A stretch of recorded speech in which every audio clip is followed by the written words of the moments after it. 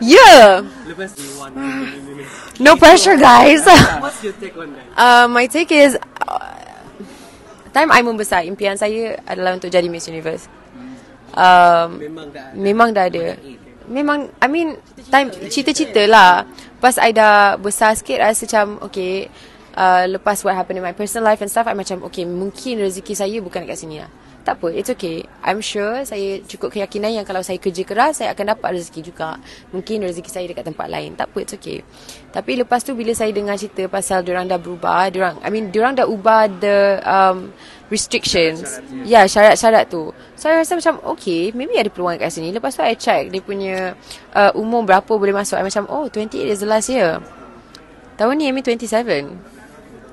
Yeah, I, I tak sure lagi. I think I'm still considering it.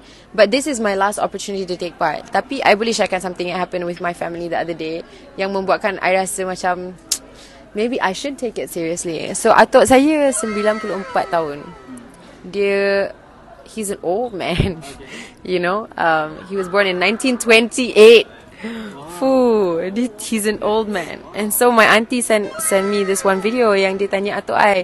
Atuk I yang kadang-kadang dia susah nak nampak bila I balik kan. Bila I pergi jumpa my family, he's like, who's that? Macam tu. Kadang-kadang susah nak dengar juga. But she asked him like, do you know what is Miss Universe?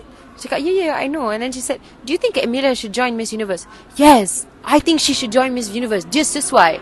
And then makcik I tanya, kenapa you rasa dia sesuai? Sebab dia boleh buat, dia boleh bercakap kot. Dia boleh buat. Macam wow. So then auntie saya sharekan video tu dengan saya. Lepas tu saya rasa lagi lah Saya tertarik nak masuk Sebab itu macam Macam doa Dari Dari atuk saya. So saya rasa macam sekarang like, Macam Alamak kalau I tak buat Macam mana pula? Kan? Tapi kita tengoklah macam mana dulu. Ah, Sebab Amy masih tengah Uruskan kerja juga Pada masa sama. So untuk mengambil Kelonggaran tu Untuk pergi overseas training Apa semua Sebab kalau Amy buat Of course Amy nak beri yang terbaik perlu disusun. Pasal pasal my take on that kan. I rasa macam bila I baca syarat tu, diorang dah berubah juga dari segi begini tu. Ya, yeah, saya rasa for me kan, um, part of apa yang saya percayai is women empowerment adalah kemampuan and kebolehan wanita untuk memilih. Saya rasa itu sangat penting untuk seorang wanita rasa empowered. For me, kalau orang suruh I pakai bikini, mungkin saya akan sangat susah untuk terima. Saya tak nak disuruh buat something yang saya tak selesa. Tapi kalau saya ada pilihan dekat situ dan saya ada kebolehan untuk memilih apa yang I okay nak tunjuk, apa yang I tak okay nak tunjuk, saya rasa itu uh, akan menentukan keselesaan saya untuk um, betul-betul mengambil uh, masa untuk berfikir pasal pasal dis keputusan. So selagi saya rasa saya ada pilihan dekat situ, baru saya akan rasa saya cukup empowered untuk join Miss Universe. Uh, kalau pilihan saya tak ada dan saya rasa saya terpaksa nak buat ni untuk demi nak memuaskan, saya tak akan setuju dengan tu. Lebih baik saya fokus pada rezeki yang ada sekarang. Dah cukup. dah.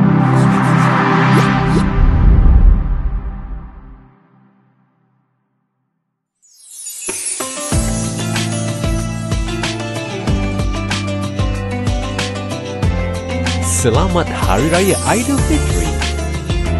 Salam silaturahim daripada Nu ID Active.